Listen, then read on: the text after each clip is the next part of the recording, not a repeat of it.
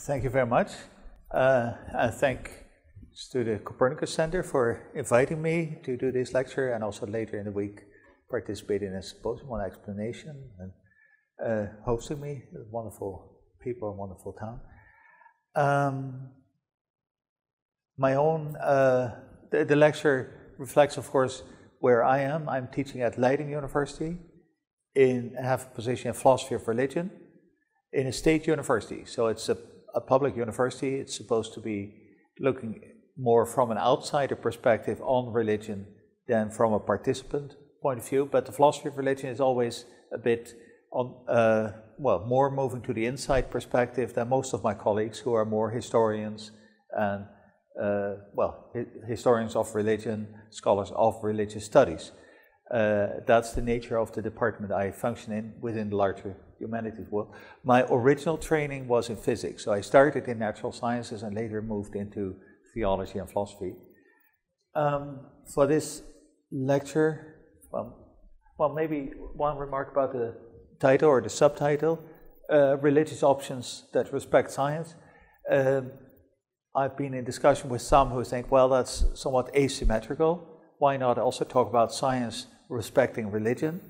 Uh, I do think there's in, indeed an asymmetry. I do think that uh, science, in a sense, functions far more uh, cross culturally without a strong personal uh, involvement, and that religion is more uh, learning from science than the other way around. But anyhow, that might come up in the discussion period afterwards as well. Um, oh, oh, is this readable? Yeah, not not here. Yeah, uh, the discussions on religion and science in general, I think they are uh, very diverse. There are many books. Uh, much of it has been uh, playing out in the English language uh, speaking world, uh, United States and Britain. but, well, there's also a lively European net of discussions. I just met, speaking of Jana here, we were together, and Michael Heller, for instance, earlier in a European Society on religion, for, or ESSSAT is the European Society for the Study of Science and Theology. Uh, but that brings together people of many different backgrounds. And being involved in those discussions on theology and science and religion and science, I'm always amazed not just that people disagree on the answers, but that they pose so different questions. That what one person considers very important for someone else might not even be recognized as, as being something to think about. So that uh, the discussion is also what are the issues and what are the main questions to pay attention to, uh, how to formulate the right questions, and when you talk about religion and science, uh, there are three things. There is think about science, there's think about religion, but it's the most difficult part maybe is think about uh, this word "and."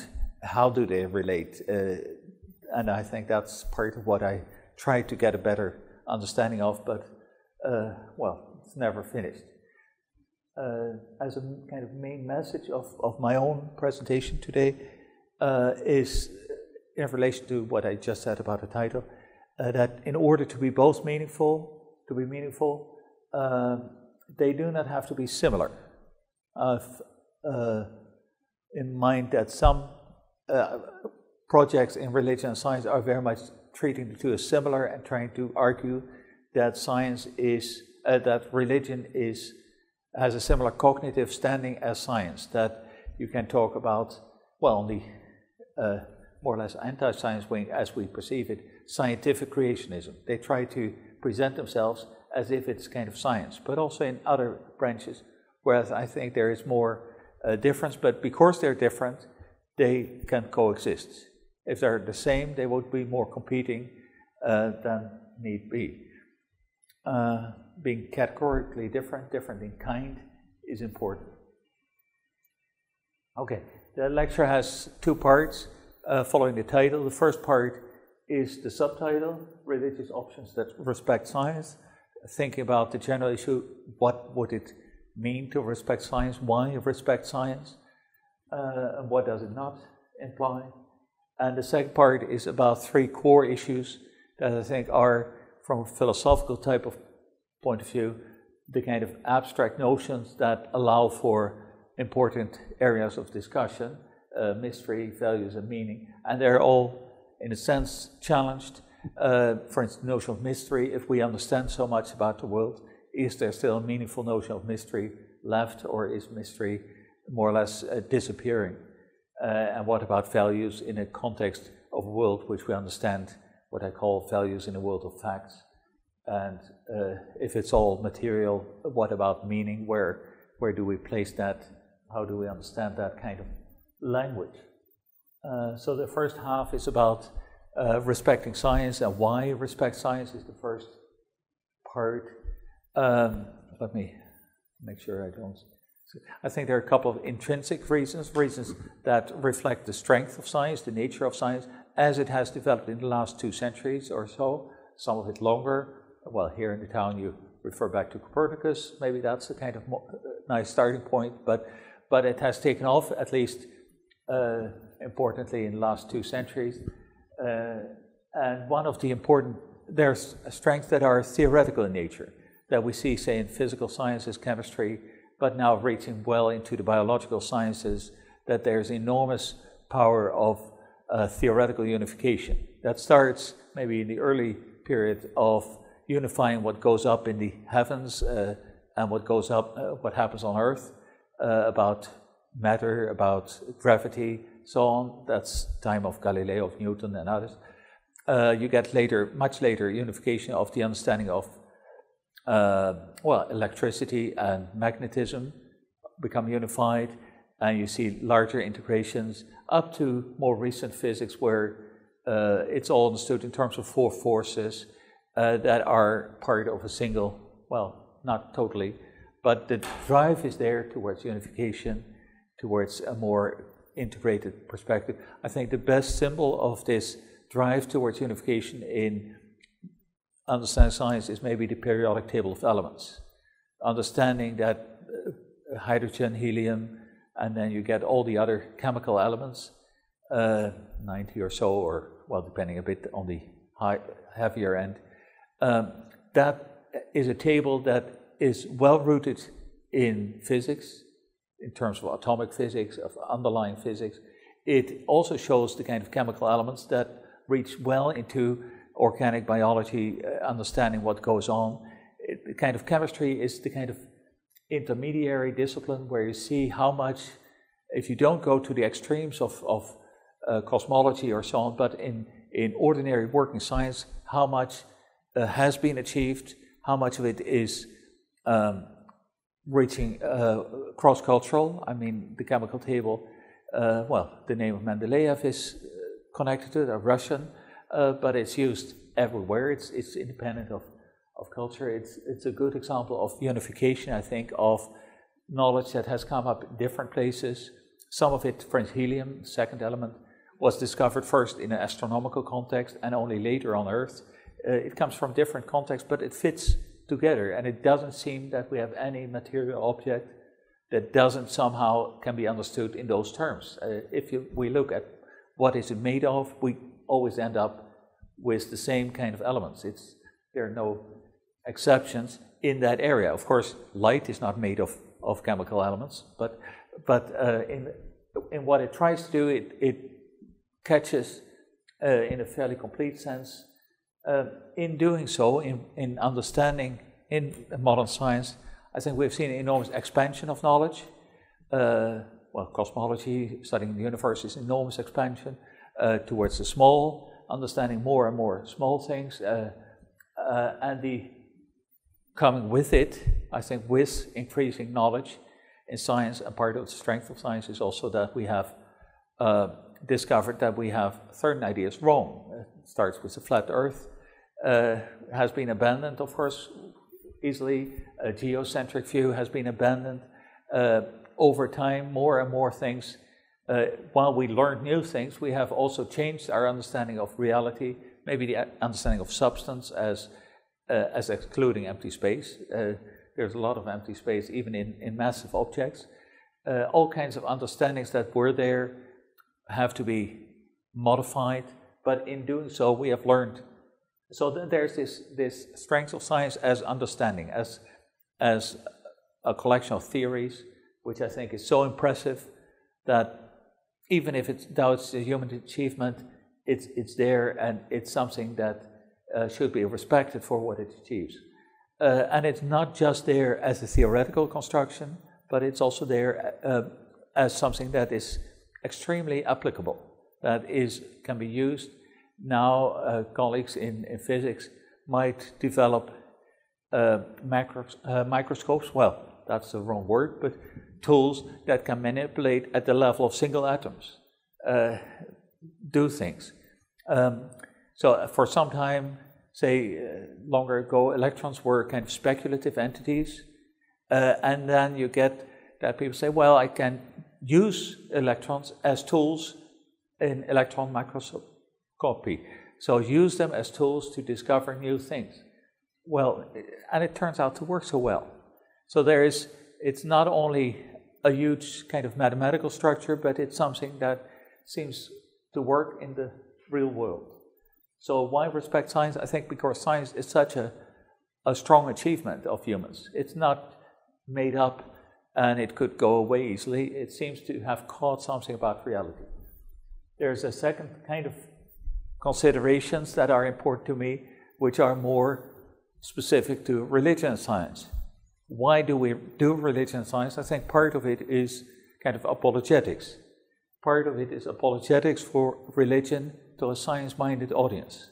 Those who accept science and wonder whether religion is meaningful.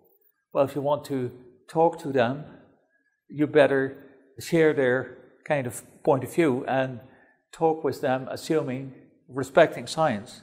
If you say, well, I come, uh, you think science and religion are in conflict, or and that religion has lost in a sense, uh, well, if you don't start uh, in that communication with saying, well, we appreciate what science has, has shown, uh, you have lost them already right at the beginning. I think the other side of it is uh, that religion and science is also apologetics for science. It's apologetics for um, among religiously minded people to have them accept science uh, I think that's partly the case in the United States, where there's far more ambivalence about accepting science, especially evolutionary biology, but also other related disciplines. And part of what's going on in religion and science is saying, well, uh, religious people, don't be afraid of science because, uh, well, and let us teach science, learn about science. It need not undermine uh, what's important to you. Well, in that project, I think that, and uh, I think many of my American colleagues are involved in a sense, or there's a website, Science and Religion Today. You see, most of those items in that website are uh, kind of science communication. They're informing people about science, about what's going on, and then hopefully they will be uh, intrigued, but also become accepting of the science. Well, if that's the kind of project, uh, again, it's better to use good science to, and to respect science than to uh, sell them something uh, that's not really science. So the, the part of the discussion of why respect science, well, maybe the first two are also a difference between kind of the secular part of Europe, uh, certainly the Netherlands and uh, other parts uh, to some extent, uh, and the other is more the, the American example where religion is more self evident, but then taken for granted, but then science is more in dispute. Um, there's another side to it, is that there is a lot of internal dispute about in religious communities. For instance, I already referred to uh, scientific creationism. Well, that's a dispute not just between science and Christianity, but it's a dispute mostly within Protestant Christianity at first in the United States between different branches of, of Protestant Christianity. And you'll find that the, the strongest enemies from the perspective of those who advocate creationism are those who uh, say, well, you can reconcile it, who are evolutionary theists, who say, well, I, I do accept evolution and I'm still a Christian. Uh, so part of the discussion is internal to, in this case, Protestantism about who speaks for, for Christianity. And similarly, uh, in other contexts, I had a graduate student who was studying how the Dalai Lama, the Tibetan Buddhist leader, deals with science. Uh, well, that seems partly an external apologetic project, uh, telling the outside world, well, Tibetan Buddhism is consistent with science, and so we are uh, a good option for you. But it's also, if you look more closely, a fight within the Buddhist world and the Tibetan Buddhist world between, say, reformists, and the Dalai Lama in this respect being one, uh, and the abbots of major monasteries who would like to keep that out. So when the Tibetan, the Dalai Lama sets up a program, Science for Monks, uh, he is in a sense reaching to the monks and trying to get them informed about science. But in that sense, he's also involved in an internal structure about the future of Buddhism. And so, too, in the world of Islam, uh, I think the big issue, just aside of science, but the big issue is who speaks for the Muslims. Uh, that's the deep struggle.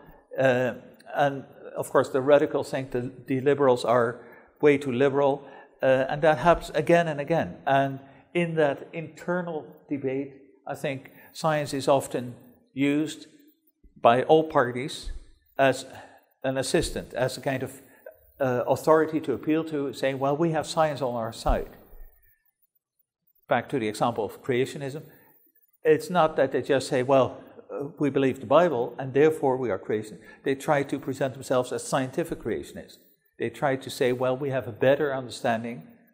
Uh, not that they have been successful in convincing the scientists, but they do try to point to fossils and, uh, and make their case in scientific terms. Even in the internal debates, it's often helpful to claim to have the authority of science on your side. Uh, so those are kind of pragmatic considerations. If you are in the middle of discussions, that I think it's good to to uh, pay attention to science, to use science. Uh, I think there's a, a, theological argument as well. If you operate in a kind of theistic perspective and see the world as God's creation, then I think there's a long tradition of saying, well, that means that all knowledge of creation is to be appreciated. There's a whole medieval tradition of writing books on the six days of creation. Oh, so, not the seventh day, but the, uh, but those are books that communicate, in a sense, the, the scientific knowledge of their time. Of course, not modern science. And you see it later, uh, often a metaphor of two books, of saying, well, we can learn about God from Scripture, but also from um, the book of nature. There's that language that respects that the world, if the world is assumed to be, this is not about arguing, but about a kind of assumption. If you assume that this is God's creation, then everything we learn about the world is to be appreciated, and we better try not to uh, do less than we can, try to have the best available knowledge. So I do think that there is a, a good a theological reason as well, uh, aside of the strengths of science, uh, how to do it, how to appreciate science. I think uh, very important part is to respect science as it's done by the scientists. So not to, to engage in a kind of self-invented science. I, am also the editor of a journal, Zygon, uh, of religion and science. I do receive many papers, of course, many good papers, luckily, but also some that somehow people think, well, we have solved the, the riddle of the world, we know how to do it, and they have a grand theory and everything fits together. And somehow they sent it to this journal, Whereas they, if they claim it's the unification of all theories of physics, they should first try the physicists. One of my first experiences in teaching on religion and science was a course in Chicago, actually, and one of the students had written a paper, um, and to her understanding, the resurrection was important, the Christology. And in the paper, she made the case that the famous formula E is mc squared, which comes from Einstein about a certain equivalence of energy and mass, that before the resurrection that had been E is mc. And I was puzzled, but she said, well, yes, with the resurrection, Jesus becomes Jesus Christ. You see an extra C there. And so it fitted for her, it fitted together. But if you would try it with, with physicists, uh, ESMC and ESMC squared, they would say, well, that doesn't work in dimensions, it doesn't work at all. I mean, it was, it was a nice kind of narrative, kind of uh, for her presenting something, uh, but it was not engaging with real science. It was inventing something that fitted her uh, program and allowed her an opportunity to articulate that. I think that's uh, an example of what should be avoided.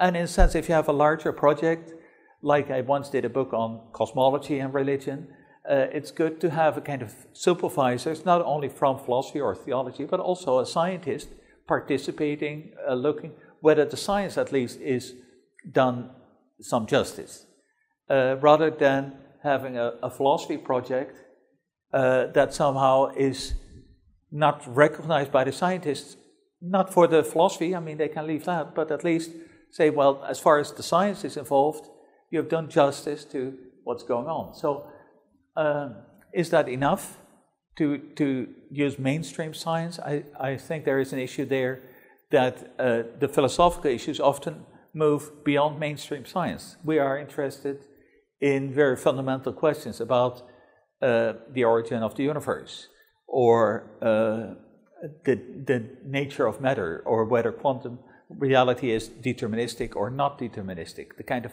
philosophical. And some of those are not uh, solved or finally resolved by current science. They, they go beyond current science. So in those kind of projects, uh, in a sense, it's unavoidable that you do more than just uh, textbook science, more than the consolidated parts of science.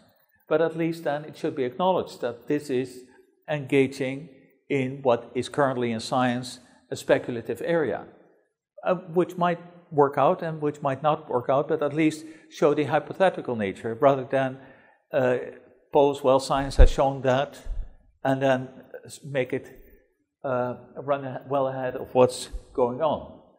Uh, well, the third point, scientific questions to be judged by the scientific community. In a sense, I already said that.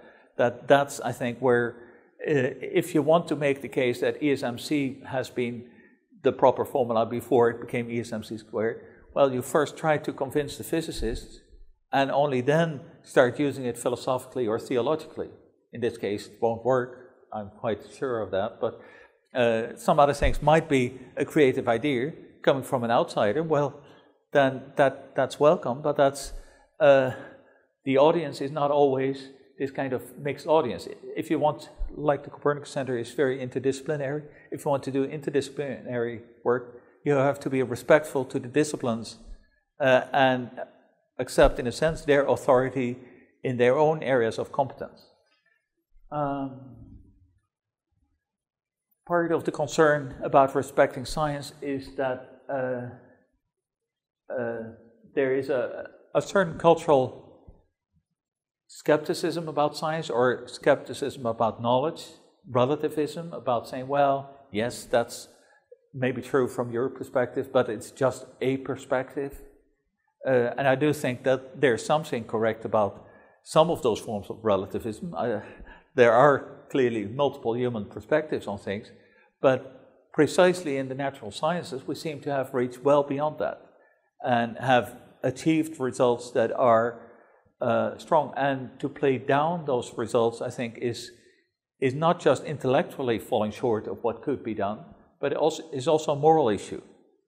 I think the moral issue about using best available knowledge, well, for me, a kind of hero in that respect has been in the 19th century an author, William Clifford, who had an article titled The Ethics of Belief. It said, well, if you want to believe something, that's not directly about religious belief, but about believing some claim, well, that's a moral issue. He used the example of someone sending a ship to sea and not checking whether it's seaworthy. And the ship goes under and people die in it. I said, well, it's not just that this person made an economic mistake, but he made a failure in believing that the ship was seaworthy without properly checking it. Uh, if your beliefs have consequences, uh, then you better take, uh, well, a high ambition there to be as good as you can. Of course, you cannot avoid relying on others as well. No human can, can check everything, but then you try to rely on others. One example which I came across in religion and science where I was, uh, well, disappointed were some colleagues uh, who were, in a sense, playing down science in trying to make room for things they considered important. And then they came to the case of uh, AIDS and HIV. There's a virus, HIV, that is considered to be the virus that causes AIDS under the right conditions. Well, in the early days, 87 or so, uh, first the virus wasn't known, and then the virus was a speculative idea but not yet accepted, and at some point it became accepted. One of the persons who, in the early period, was doubting that this virus was it was Peter Duesberg, a famous vir- virologist, I think Nobel Prize winner, anyhow of major standing in, in his field. And he has continued that position since the 98, late 1980s. So there is a, a group that denies that HIV is the cause of AIDS. It's a very small group, a very marginal in the scientific community. You don't find it basically anymore in the, in the scientific literature, you find it in some popular literature. But it's used uh, to play down this knowledge. It's used to play down this knowledge with severe consequences. It was the point of reference for a South African president, the previous one, uh, Mbeki, to deny this link and therefore to push against uh, antiviral medicine because that was all pushed by the pharmaceutical industry and well this was not really the cause of, of AIDS. Uh, well, in, in going for a very marginal position or something that in scientific terms was outdated and building his policy on that, I think he, he had a huge impact which was disastrous for many people. So I think there's a, a moral issue about using good science and not avoiding it. Um,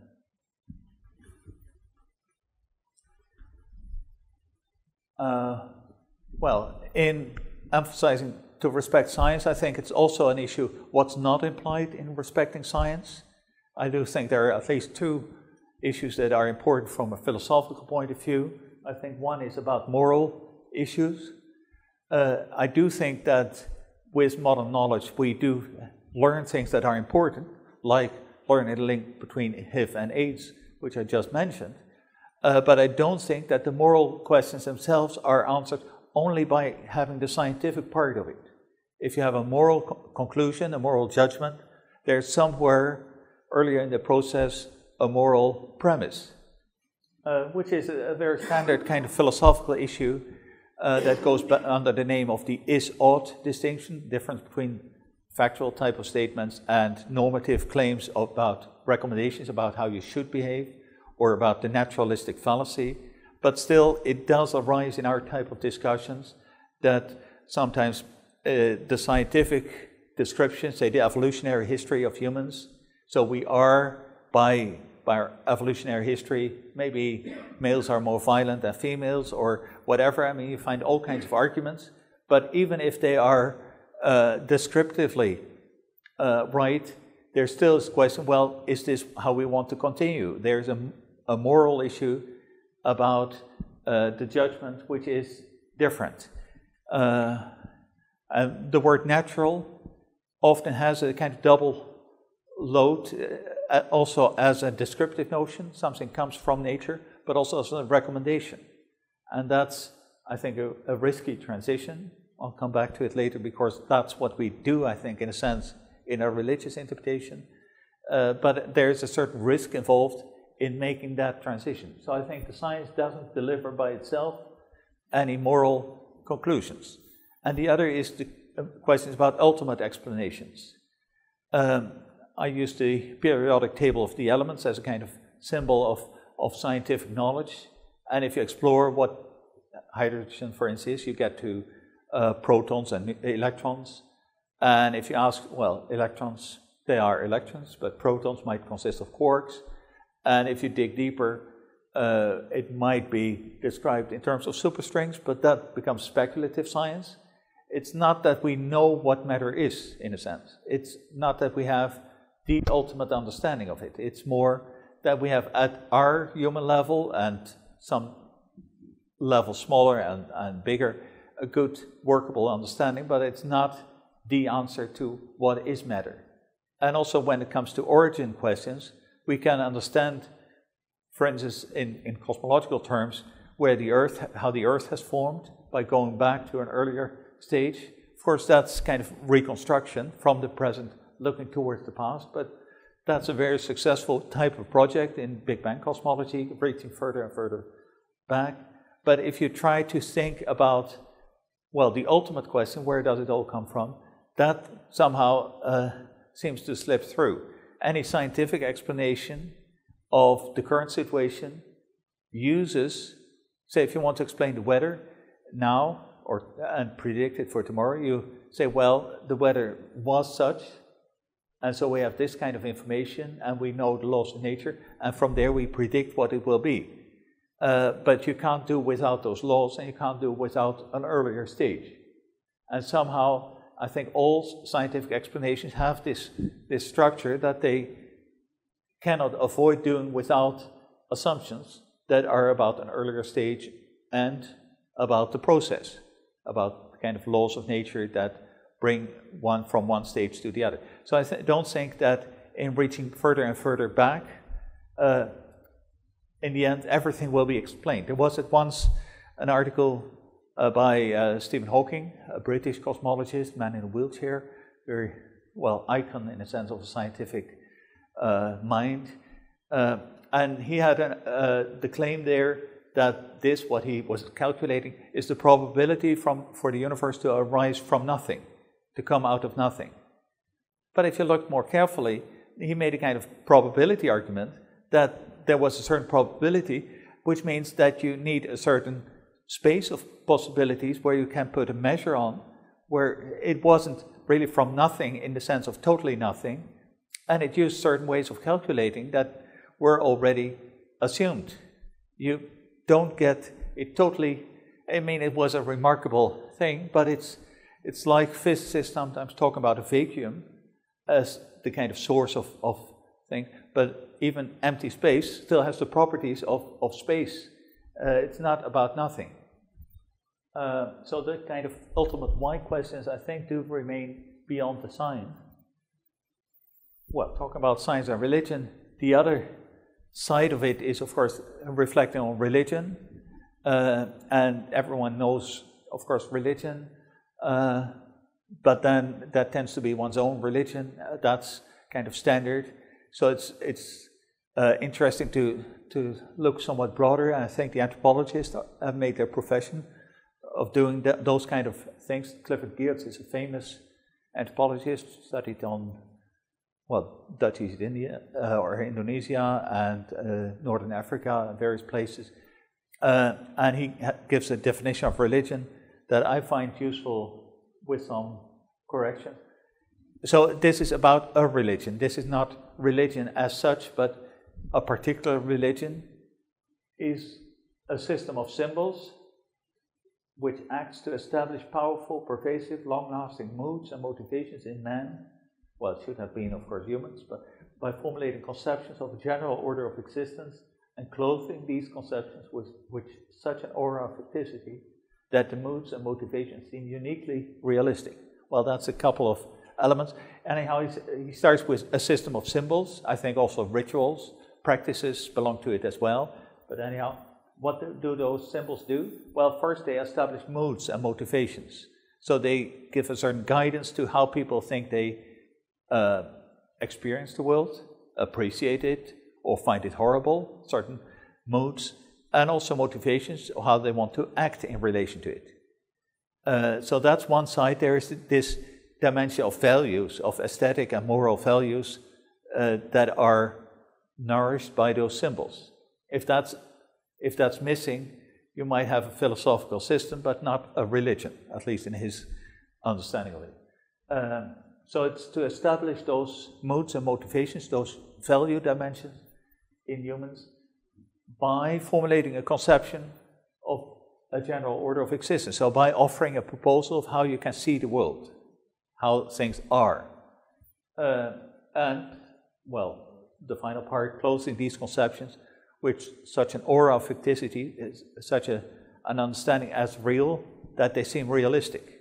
Maybe an example if in a theistic context, like Christianity, it said, well, God created the world. That is partly uh, something of this general order of existence. It does say something about how, where it comes from. But if you say that as a religious statement, it's not just saying something metaphysically, well, God created the world, and not uh, it came by itself or whatever, but it's also a kind of moral appeal that it, in a religious context, brings with it the assumption that one should treat it as uh, receive it with gratitude and treat it with responsibility. So, in the religious expression, I think, of, of for instance, doctrine of creation, it's doctrine of creation is not just, uh, well, like science in a sense, doing the descriptive job, understanding it, but it's also offering a prescriptive. Uh, the same Clifford Geertz speaks also of models of the world and models for the world. Models of the world, which is more the descriptive side, and for the world, which are more the orientation of how to how to move on. I think that's typical of uh, a, a living religion that there are those two sides to it. Uh, so I try as this kind of of a schedule to work with uh, to say, well, what's a, a theology doing? Uh, a, th- a, theological vision. It's a bit in, in trying to do the same uh, in, in other words that Geertz does in his definition. A theological vision, or maybe a humanistic vision, may, maybe different types. It integrates two things. On the one hand, there's this cosmological side of it. It does say something about the order of existence. And that's fed by theories, by scientific theories. And beyond that, by scientific observations and experiments. And of course, that begins in human daily life when we have experiences that, in a sense, are the beginning of science, of things falling and breaking and, uh, well, ordinary knowledge in a sense, and science is refining that and, and developing that. And the other side of this uh, vision is that it also has a certain value system to it, that there are certain, axiology is a, an expensive word for, for a value system, for a view of values.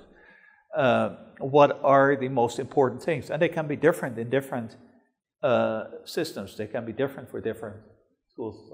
So the ethical side of it, and that, well, like observations in science, goes back maybe to moral intuitions, to uh, something that is less uh, theoretically made uh, articulate and more immediately available. And that too, of course, goes to back to human lives in the, in the life as lived, in the practice of it, where we have, in practice, we do mix value judgments and, and expectations about how the world behaves. We mix them all the time.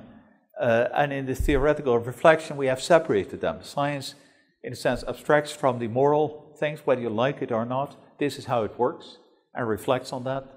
Uh, and, well, the ethical discourse, in a sense, tries to well, be fair to the world, but also has its own uh, abstraction in thinking about values and how they work. Uh, but in the in the religious vision, the two I think should come together again, and there's room there. So I, I think a theology, in that sense, philosophically speaking, is a constructive project. It's kind of highest level of synthesis, uh, where is and ought. Those two sides of it are brought together philosophically problematical, I mentioned that, but I think that's typical and it's, it's what makes a religion important. If it's not having those two sides, it becomes more just a speculative exercise. Uh, so the, there's underdetermination. I do think that in this vertical build up, in a sense, of observations to theories, and also from theories to the overarching view, there's room for various ways of doing the integration. It's not a a one-way uh, street.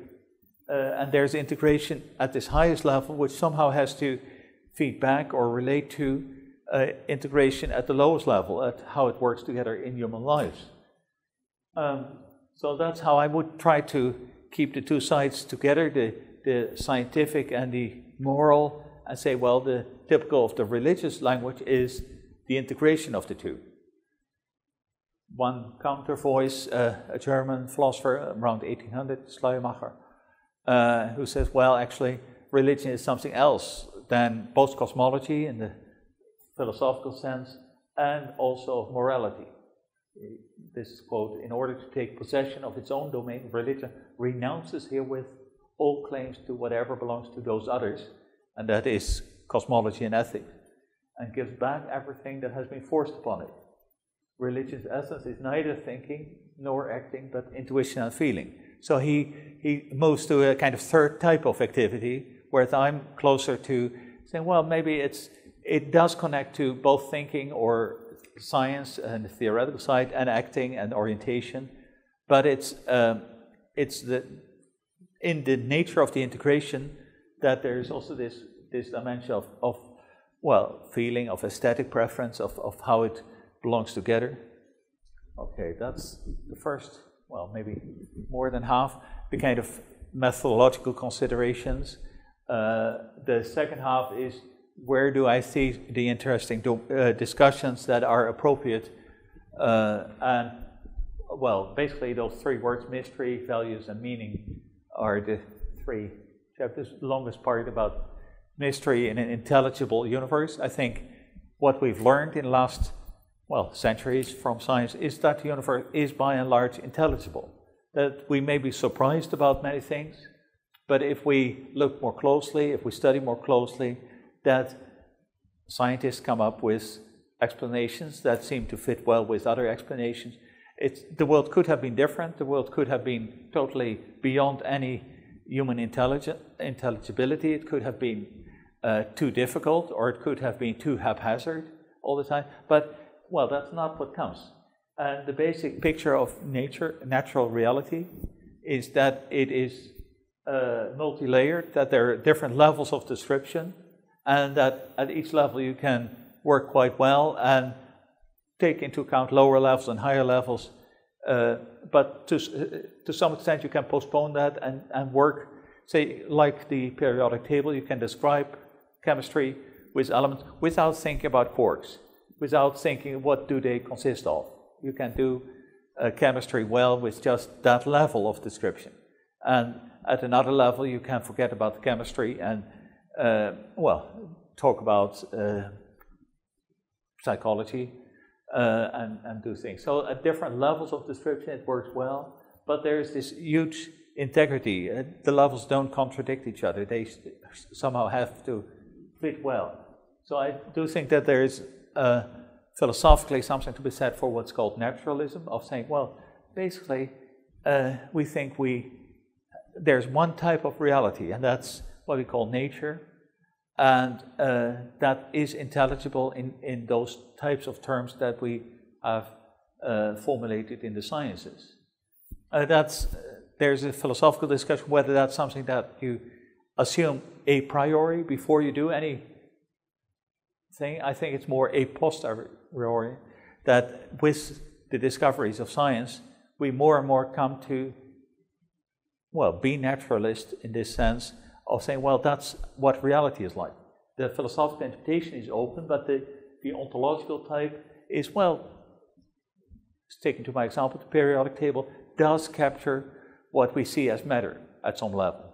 Of course, there are other types of matter as well, so we, we aren't there yet, but they, they will come to fit in the larger picture. And in terms of natural history, where does it come from? Uh, that seems to be enormous in coherence from uh, human history biological history, cosmological history. It, it is, in a sense, one lo- long story that could be told. What options are there in terms of, oh, maybe with the previous one, uh, one comment, what for theology is an issue there is often it's called the God of the gaps. Whether the scientific understanding is so complete that, uh, well, in the past we didn't know about um, lightning, and Zeus was creating lightning. Well, nowadays we think lightning is part of the natural phenomena. It's remarkable, but it's and it's not a divine act in itself. And in a sense, more and more uh, is the emphasis on the integrity, excluding divine acts that are of such a kind that they are, in a sense, gaps in our current understanding, and that that is where where theology should put its uh, uh, its focus on. Part of the creationist or the intelligent design debate is about finding gaps and then arguing against those gaps. Uh, that's part of the, the tug of war in religion science, but I don't think that is a fruitful strategy. So, what else, what other strategies are there? Well, I think there is a form of theism that is a genuine option, that is a genuine possibility in line with this understanding of science, um, accepting the intelligibility in nature and wondering whether that points to a certain intelligibility of nature, of saying, well, this, this is so well structured, there might be a higher order of rationality behind it. I think that's a voice, well, I've, i think I've heard Michael Heller presenting it at various occasions. Uh, someone like Ernan McMullin, the other philosopher, uh, is, I think, a historically a good example. So it's not uh, arguing as if there is a proof for the existence of God. I don't think that that works. If you look more closely, those types of arguments that have been presented as proofs uh, put in so much assumptions that are uh, not delivering uh, the kind of conclusions. But in a theistic perspective, it fits. It fits to say, well, this uh, reality that the scientists study and that we have come to see with all its integrity might have its source in a creator or have its existence due to a ground of being, if it's a different type of philosophical discourse. Um, I don't think there's any inconsistency there. So, whereas some would say, well, the kind of naturalism you present automatically excludes theism. I think it's more naturalism about nature. And that leaves open the question how you understand nature at a higher level. But that's a philosophical type of discussion. It does raise the question of how you see, think about God's mode of action.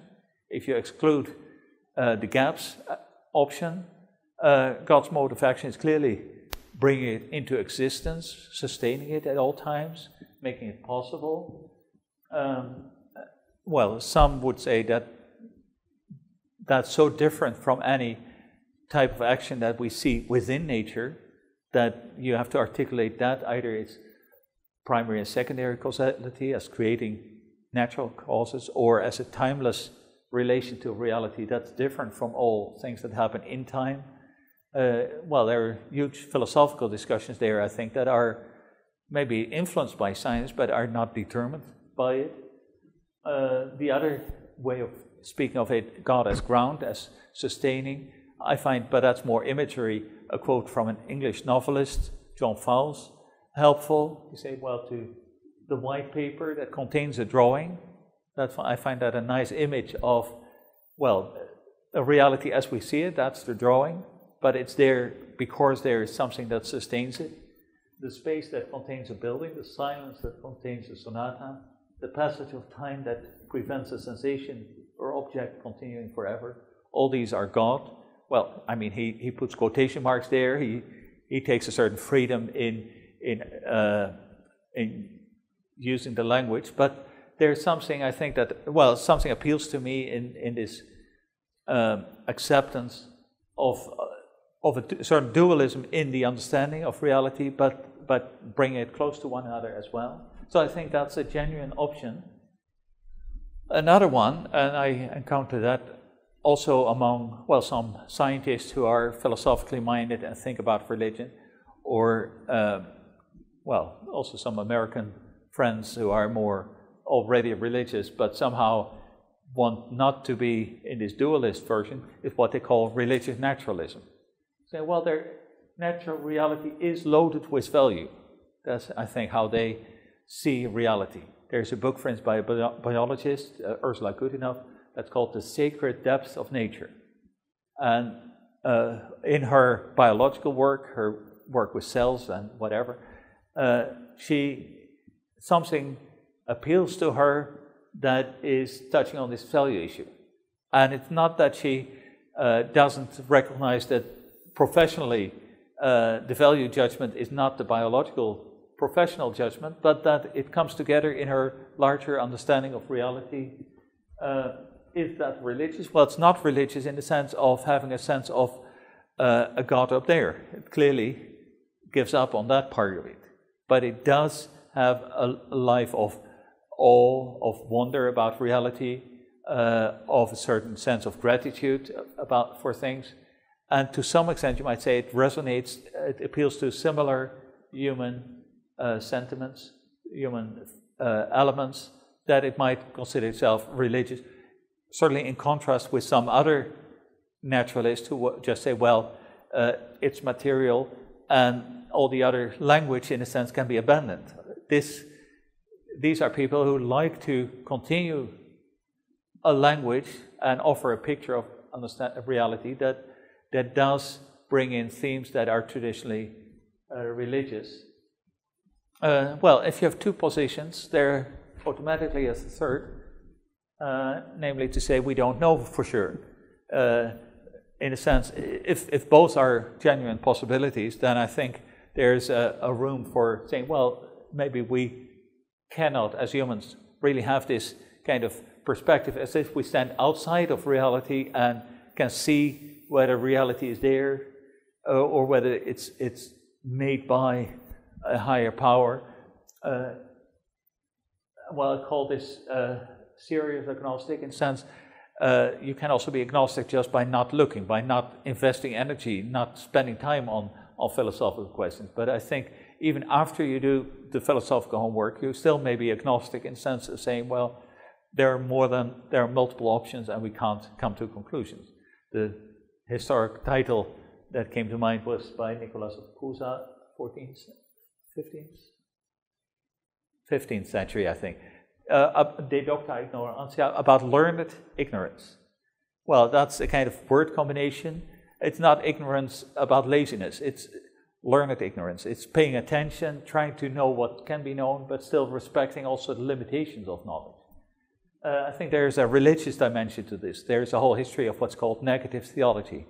Not negative in the sense of unfriendly, but negative of respecting apophatic, of respecting that we don't know things and er- everything we claim to know might be actually uh, hubris, might be uh, claiming too much, and that we better say, well, we don't, we know that, and many of the words, if God is called uh, um, um, infinite, it says God is not finite. It's, it's in a sense denying uh, what we do know, finitude, but whether we know what infinite means is not yet claimed.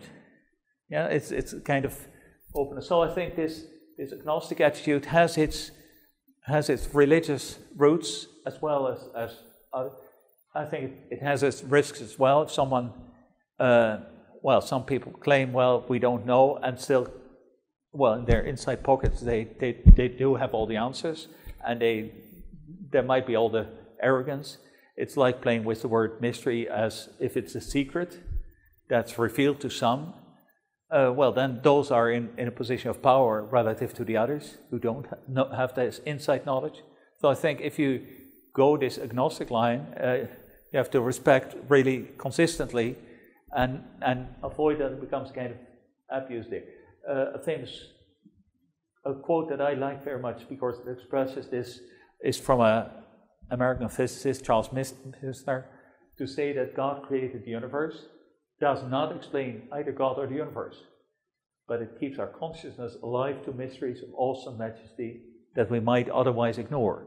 So, uh, God created the universe. It's not an explanation of God, it's not an explanation of the universe. It's more uh, a way of saying, well, there is a, a mystery that surpasses it, uh, and it keeps us in that sense, it provides the religious language is a language that uh, keeps this, this idea alive without really closing the door, without saying, well, we have solved it in a specific sense.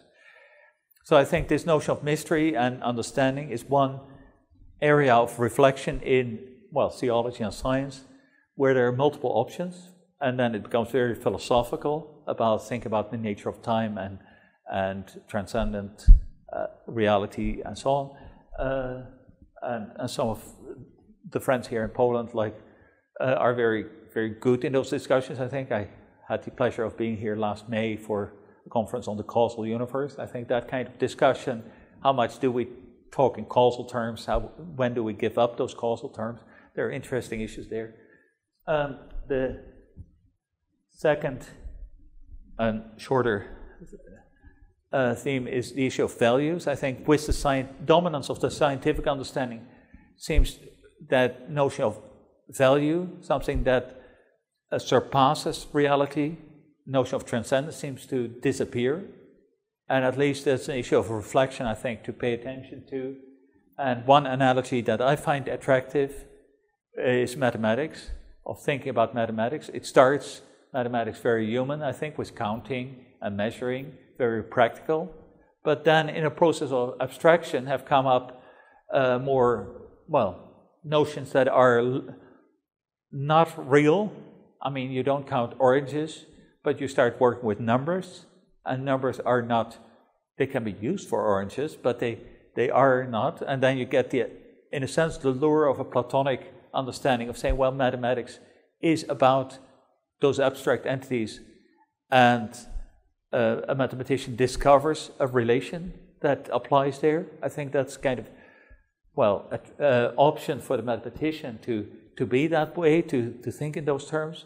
Uh, among current uh, major figures, I think Roger Penrose is, is leaning to the Platonist side very clearly uh, and talks about intuition that we have as a kind of access to a Platonic reality. Uh, maybe the more sober option is say, no, we have really invented it. The natural numbers come most easily with counting, and then we have started to, to play with it and create ideas. But if it's a human construction, uh, it's remarkable how uh, culture independent it has become. I mean, it, any bit of mathematics you can date historically who invented it, but it's no longer tied to it. It's, and if we were to meet extraterrestrials, they would have a different notation. But if you want to establish contact, uh, probably start with mathematics because that would be the area where you most likely uh, understand each other because you have the same, it seems to be there's something universal about mathematics. And the Platonist has an easy answer because it's out there. Uh, if you are more constructivist about mathematics, you still have this uh, perspective of reaching beyond any practical way of how we, we count, how we measure, to those abstract possibilities. It's a process of abstraction that seems, at least in the, in the process, to suggest a possibility of transcendence, not as something that can be reached, that is out there, but as something that well, is also more than, than just human made. Uh, it's, it's clearly an option in the structure of the way things are. At least that's how I um, think about mathematics, but I haven't thought enough about it. it there's certainly more uh, philosophical work for others and maybe for me. And I think morality has a slightly similar kind of structure in that we try to reach for something that's universal. For instance, in, in claiming that you shouldn't kill others, uh, or other moral commandments that transcend particular situations and particular interests. Uh, that, of course, uh, human behavior is often tied to particular interests, but that in criticizing it, there is a push for more universal principles that are transcending each particular situation. Uh, so the scientific perspective starts, I think, with understanding why people cooperate, uh, and that serves themselves and their kin, their descendants. Uh, but in the process, somehow, this universal dimension comes up less, less so than in mathematics. It's less culture independent. There's uh, clearly more uh, human, but in reaching for public justification, where there's a group of people, and you can't just say, well, I like that, and I, I think this serves my interest, but you have to appeal to arguments that are generally acceptable. And so you reach beyond what's particular. So I do think in morality there's a similar possibility of thinking about, well, a, a transcendent possibility that transcends human practices in um, human interests. And I think there's a religious way of articulating that as well. There's a book that's 20 years old already by Stewart Sutherland. Uh, what is titled? The Legacy of Theism. Uh, but he speaks of the religious perspective as a view sub specie eternitatis, as if from the point of eternity. He doesn't claim that we can ever reach that, but that in transcending a particular perspective, you try, or at least in, in well, in keeping that ambition alive, you, you have a certain stance in, in the actual situation where you are. He refers to a novel where someone is contemplating what to do and gets the advice to become a school teacher. And that's not the kind of great career that the person would think of, but no, be a teacher. If you do well, um, you will know it, your students will know it, and God will know it. Well, what is this? That's what he's writing about. God will know it. Is that, that there is a kind of big brother who's collecting knowledge? No, that's not what makes the meaningfulness of becoming a school teacher. The God will know it is, uh, it has a kind of intrinsic value that holds up in the light of eternity. it, it is reaching beyond the particulars of the situation. And that's kind of uh, seeking, uh, a, well, to acknowledge that there are, are, human interests, but in, well, maybe it's a bit like Misner's quote at the end of the previous section, uh, in allowing the option that there, well, there not is, but it's kind of limit notion. Like in mathematics, you can have a series and you can, as if it's completed, think what would it end up as, even though it's not completed. And it will never be completed by humans because the series is way too long. But still, allowing for this idea of completion uh, allows for a certain way of looking back upon the series. Well, anyhow, I think the issue of how do we understand values, there's much more, of course, that could be discussed. Uh, third and last, uh, in a material world, uh, what do we think about personal meaning? Meaning, I associate more with uh, identity issues. Who are you? Why do you make the choice you do?